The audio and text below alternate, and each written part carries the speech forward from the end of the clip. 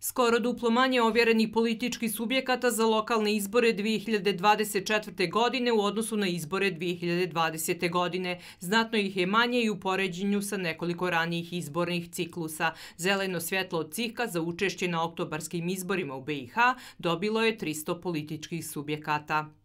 113 političkih stranaka, 76 nezavisnih kandidata, 43 nezavisna kandidata, predstavnika nacionalnih manjina, 59 koalicija i 9 listi nezavisnih kandidata.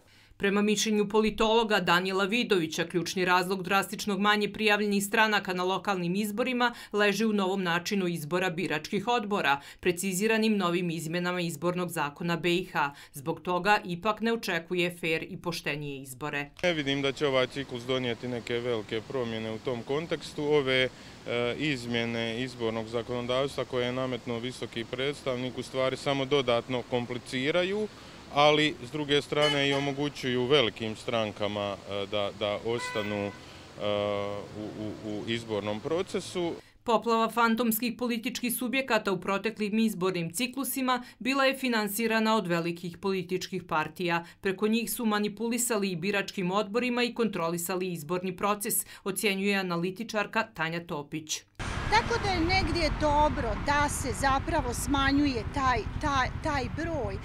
Mi negdje smo dugo vremena očekivali profilisanje političke scene na, na taj način. E, taj veliki broj nije doprinosio političkom pluralizmu, e, već je dobrim dijelom bio zloupotrebljavan od strane velikih političkih partija i u koaliciji pod lupom smatraju da je manje stranaka na predstojićim lokalnim izborima rezultat odustajanja takozvanih fiktivnih političkih subjekata jer ne mogu više trgovati biračkim mjestima. Prema novim izmjenama, predsjednici biračkih odbora i njihovi zamjenici moraju biti nestranačke ličnosti, dok članovi mogu biti samo iz parlamentarnih stranaka.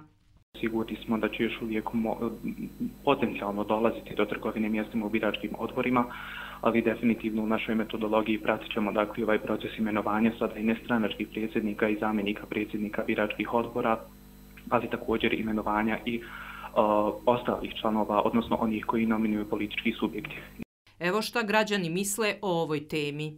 Primamo tolike informacija da više ne znamo šta je prava, šta je nije prava informacija. Naš političar to tako šareno radi. Diriguju stranci s nama.